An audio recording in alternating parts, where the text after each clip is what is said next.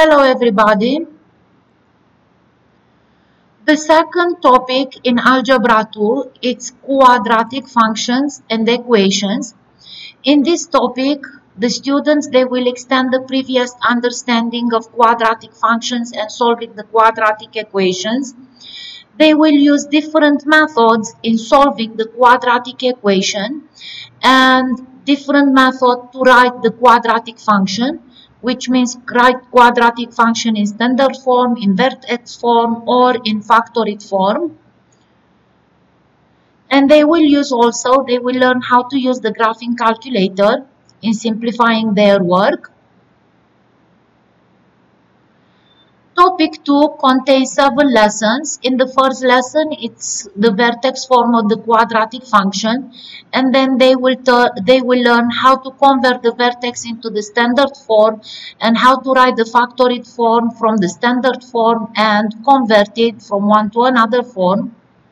They will learn about the complex numbers which are imaginary numbers. They will learn about operations with complex numbers and how to graph them on the coordinate plane. They will learn how to complete the square in solving a quadratic equation, which method it will be used in converting the standard form of the quadratic function into the vertex form of the quadratic function, and later on completing the square, it, it, uh, it will be used in writing the equation of the circle in standard form they will learn how to use the quadratic formula and uh, discriminant in finding how many solutions a quadratic equation can have and at the end they will learn how to solve the quadratic linear quadratic systems.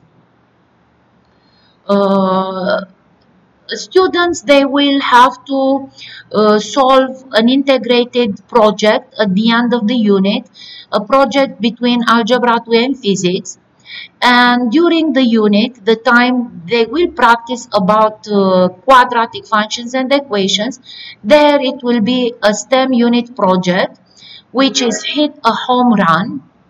The project it will be sent it to the students with the steps required to be applied and answered um, next to this uh, project they have a real life connection. They have the a video related to this uh, project.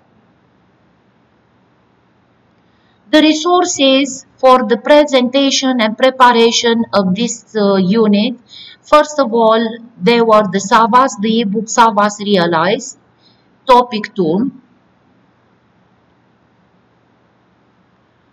The resources offered by Math Bits Notebook Algebra 2 with lesson and practice. Definitely there it has to be the graphing calculator. And through the time offered for the topic 2, in each lesson there they are going to be answered set questions related to these lessons. Using the Princeton for the subject test Math 1, the Barron's, and the Kaplan and the Craig. Wish you all good, uh, good luck. Thank you.